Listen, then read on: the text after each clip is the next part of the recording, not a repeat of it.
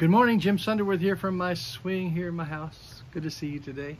Uh, we've been talking about a Nazarite vow. And we talked about last thing yesterday was Samson. Samson, who uh, didn't really, I don't think he really took it serious. He kind of played with his gifts and he kind of just, uh, instead of being a conqueror of the enemy, he was a nuisance to them. You know, sometimes, you know, we don't conquer the devil. We're just a nuisance. You know, we're not totally committed. Kind of, you know, the the thing is, Samson was kind of like a half-baked cake. He wasn't totally like he should have been, totally committed. Anyway, well that's that. And uh, but God used him, and his the last part of his life, God used him in a massive miracle, gave him his strength back right at the right time.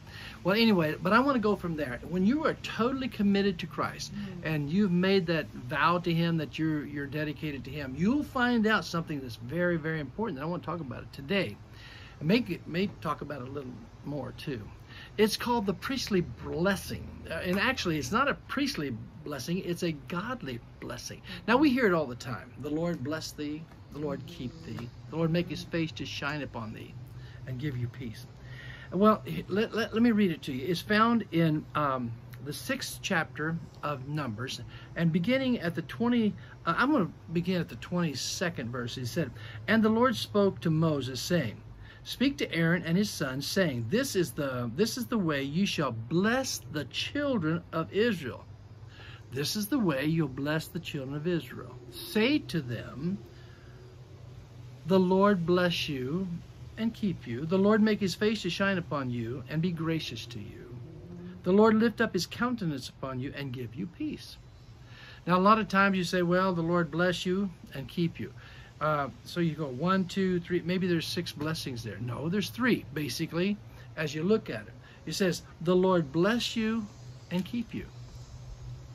Uh, I say to Diane, um, I love you and I will be faithful to you. Because of my love for you, I will be faithful to you. God says here, the Lord bless you. The Lord bless you. So you see, He's a blessing God. God wants to bless you.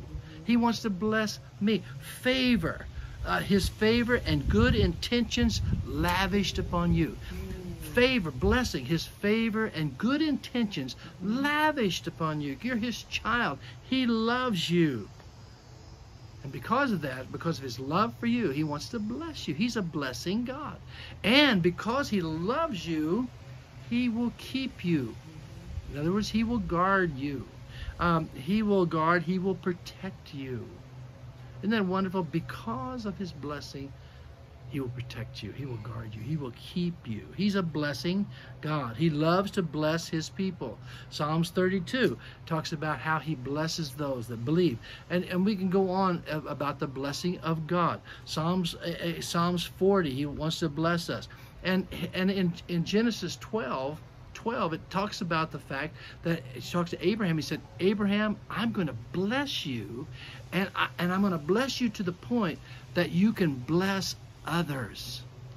You see, if God is blessing you, and he told Abraham, he said, if those people bless you and believe in you, and those, he said, I will bless them that bless you too.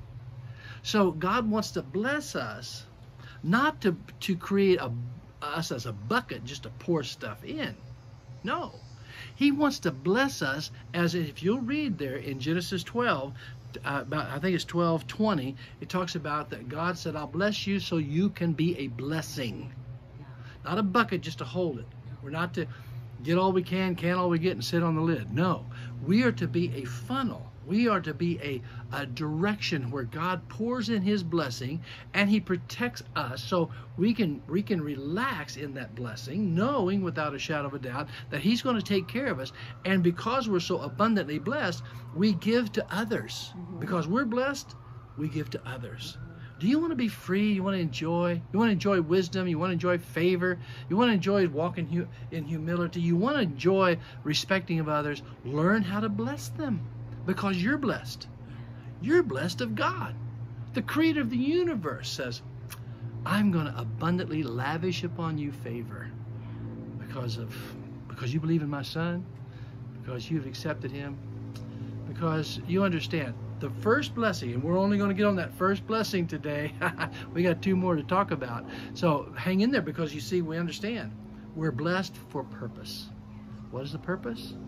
Ah, to enjoy a God that loves us and to be able to be used of that God to bless other people. An instrument of His grace, an instrument of His peace, an instrument of His source. We get to be.